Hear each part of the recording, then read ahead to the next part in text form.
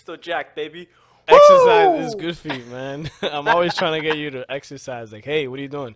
"Uh, I'm about to eat a chicken sandwich. Like, all right, you know, that's cool. but what can you do, I'm living man? life, baby. You're living life, you know.